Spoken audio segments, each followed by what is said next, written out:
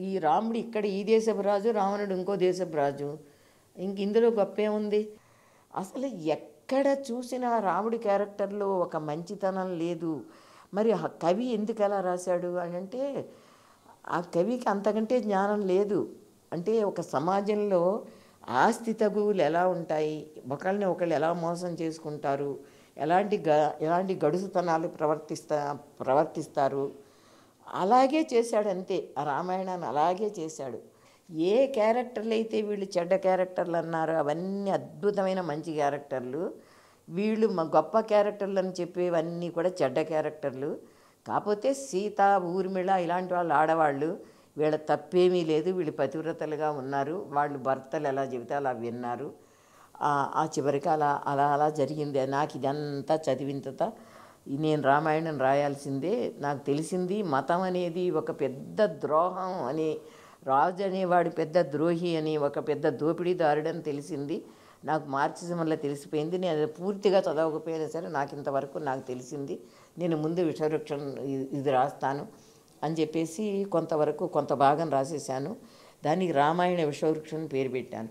మా పబ్లిషర్ అరుణ publishing house ఆయన ఆయన పుస్తకాలు ప్రింట్ చేసేవాడు. ఆయన అడిలిపోయాడు. అడిలిపోయి అమ్మ వద్దు.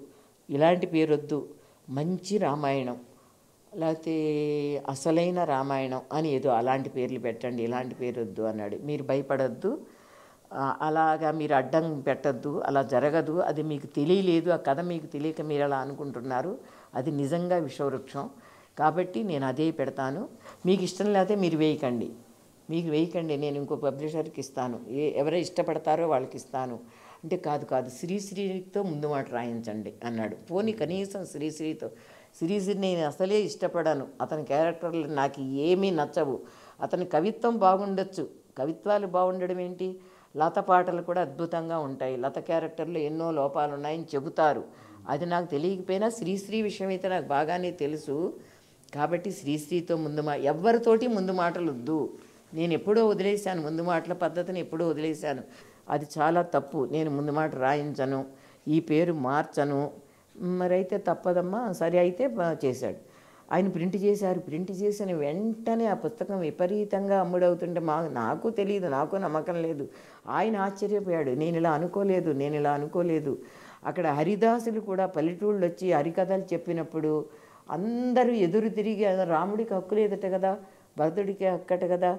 అసలు రాముడు ఎందుకు చెప్పులు ఇచ్చాడు? నేను అసలు సింహాసనం మీద ఎందుకు కూర్చోవాలని ఎందుకు అడగలేదు? అని ప్రతి వా